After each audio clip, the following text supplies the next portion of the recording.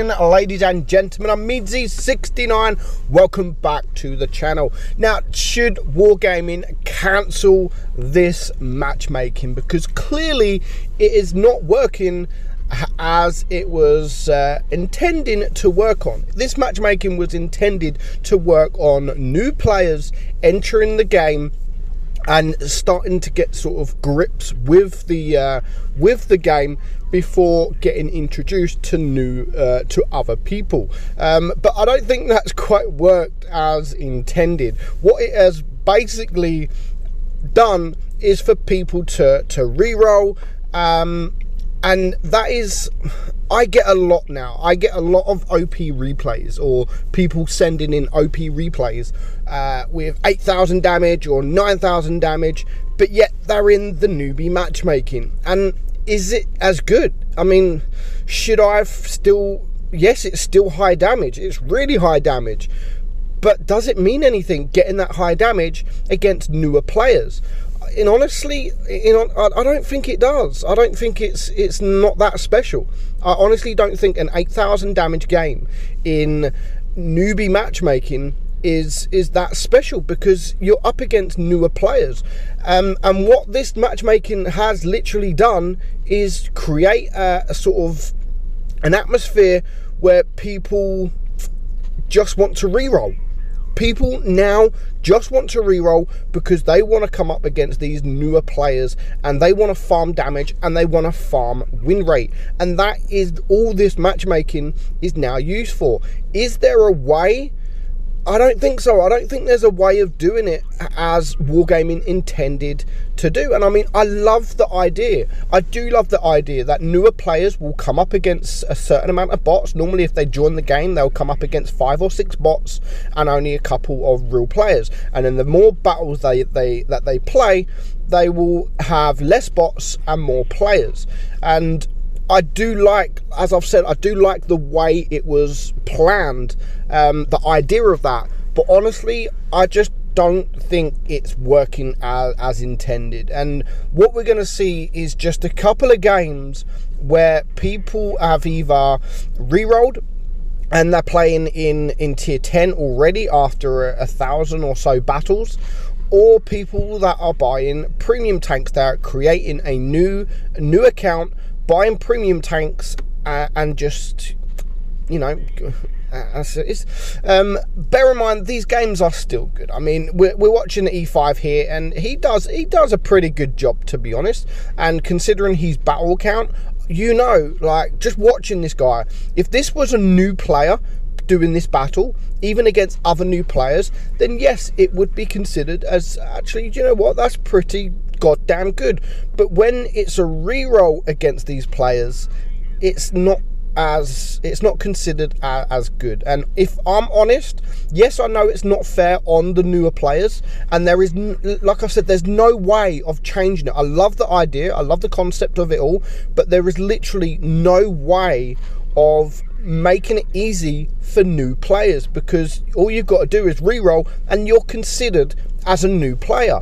And unfortunately for the newer players, it's not working. It's not working as intended, and I don't think it will. Whatever wargaming do, I don't think it will ever work as intended. So I honestly think wargaming should just remove this matchmaking and do it as it was originally. At least then you will have a mixture of good players and bad players on a team where now the matchmaking as it as it is you may have one really good player like we we are seeing here and the rest of them might be bots or the rest of them might be bad players. So it's not really fair on the enemy team that they've actually their team have got seven new players that are actually trying to learn the game whilst the enemy team have just that one player that knows everything about the game. He's a reroll and he can just destroy anything that comes his way. So, unfortunately, I do think Wargaming should remove this matchmaking because I do honestly think that the newer players will have better opportunity to learn the game or better opportunity to win if they the matchmaking was just normal normal throughout the game i mean here look again we have an enemy chieftain Mark 6. He only has not, a, well, he doesn't have a lot of battles at all. And he's already bought a premium tank. And, and this is what people people do and it's frustrating to see it is frustrating to see people creating new accounts buying a tier 10 premium and just upping their average damage and upping their win rate. At least our guy in the E5 here, he's actually grinded this tank. He hasn't bought it, he's grinded it, and he is just farming win rate and potentially average damage. Um, it doesn't always work out in your favor, of course. If, if you reroll, you're not always going to win because you might come up against players that are doing the same on the enemy team. But honestly, I just think that Wargaming should remove this this uh, this matchmaking. You guys might think differently, so let me know in the comments below, or if you are watching this as a live premiere, uh, let me know. Like, do you think Wargaming should just remove this because all this all this matchmaking is doing is making it easy for the people that want to re-roll, and you can have players that are now 70% win rate, whereas their main account is probably only 50%. Um, if people want to re-roll then yeah that that's that is up to them. Like if, if they're not happy with their account then yeah that's that's up to them. I mean i mean look 2400 average damage. He does a great job like don't get me wrong 72% win rate but 100% his main account is not 72% win rate. Um, and he's not a new player. And we go on to the enemy team here. You look 2000 3000 the, the chieftain only has 4000 games and like he, he if that's a re-roll, he's not succeeding. Uh, let's have a look. So T92 again, 1400, IS7, 3000, and most of these I would honestly say are not re-rolls. I mean, you look at the bottom player, 3000. He can't be a re-roll. If that's a re-roll, it's a failed re-roll. So our guy here in a re-roll account is up against potentially seven players that are actually new to the game and that's what I don't like. That is what I don't. I, I want to see removed. I don't think it's fair um, on the new players that are actually wanting. They've they've downloaded the game and they think, oh, you know what? I like tanks. This seems a good game. And then boom, they're coming. They're coming against these kind of players that are just sort of I, wouldn't even say overpowered because they're not overpowered. In the normal matchmaking, if they perform this well, then yeah, okay, they could be OP players. Um, you, you, we have it here again. We have a newbie matchmaking um, we're in the WZ121 GFT, which is an OP tank anyway, up against new players. They're going to find it very difficult to be able to pen this because sometimes it took me when I when I first joined the game, it took me probably about seven, eight thousand battles to actually realise that there is stats. Like I didn't ever play for stats. I didn't even look. I didn't even think of the stats. Um, it took me a few thousand battles to realize that you can actually change pramo from gold to credits. I didn't know that, so I just never shot premium ammunition. And there is going to be new players that are joining the game that are like that, that don't know that they can change the uh, the premium ammunition from gold to, to credits. So they're not going to shoot premium, and because they're not going to shoot premium, they're going to struggle to come up against tanks like this. You're going to see here this VK168 on the enemy team. Again, buying premium tanks, and his team also has a VK168. Now, this VK168 is stupid absolutely stupid. Um, people complain.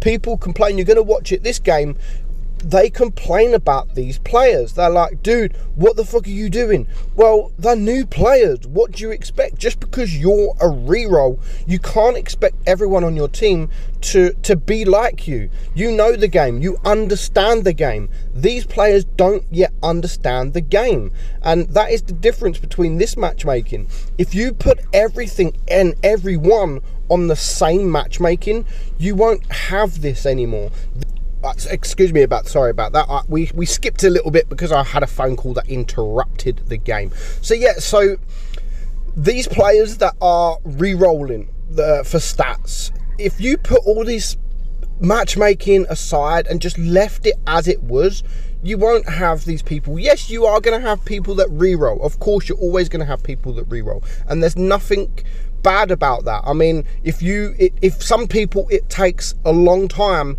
to learn the game. and it does. It took me sort of 8,000 battles to learn the game, 9,000 battles to learn the game. But some people may take longer, and by then they may have too many battles to, to make a difference to their stats, which is why sometimes you see now 40% players doing really, really well in game because they've learnt the game. But it took them a while to learn the game, so their stats are not as good as everybody else. So what this 40% player then does is, you know what, I'm going to reroll and actually get better stats. And that is what they do. But these players now that are re-rolling they re-roll because they know it's easy to get 2000 average damage and they know it's easy to get 70 plus maybe even 80% win rate because then by the time they get put into the normal matchmaking which is around 5000 5500 battles it's already a lot of battles to make a big difference to their win rate if they start losing.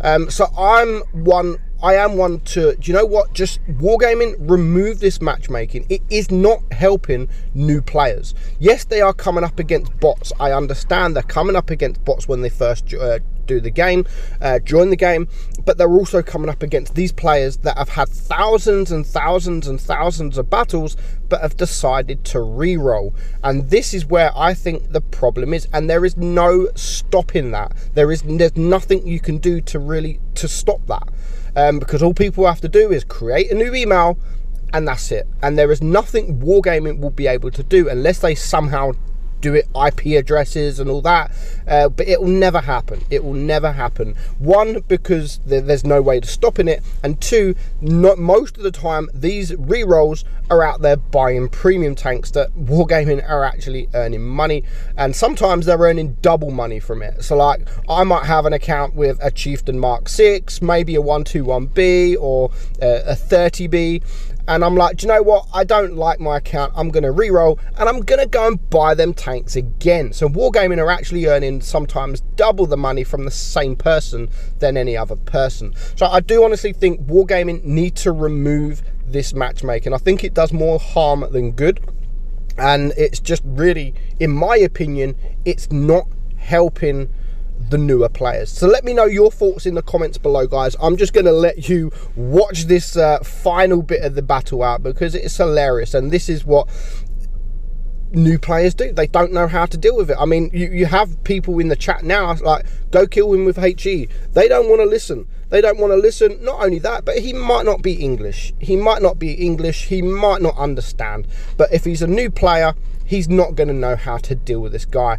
Uh, so yeah, I'll leave you with that. Let me know your thoughts in the comments below whether you think Wargaming should remove this matchmaking completely or change it so it's less battles in bot matchmaking, maybe only 50 or 100.